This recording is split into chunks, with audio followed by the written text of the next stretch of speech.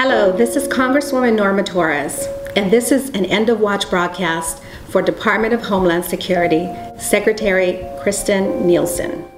She served in the Trump administration for 18 disgraceful months. As President Trump's foot soldier, her cruelty was boundless. She implemented heartless policies that separated thousands of families, many who will never be reunited. Te va a explicar y te va a ayudar. ¿Cierto, Consul? ¿Qué va a pasar con su consulado ¿eh?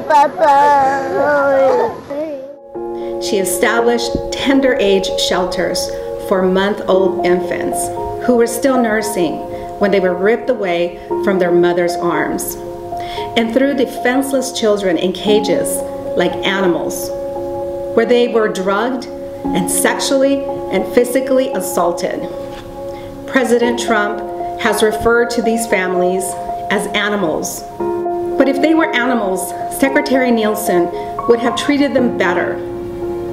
And if delaying care for those who desperately needed medical attention wasn't enough, there were innocent lives that were cut short, like Jakelin Caal Maquin, Felipe Gomez Alonzo, Claudia Patricia Gomez Gonzalez, and Roxana Hernandez.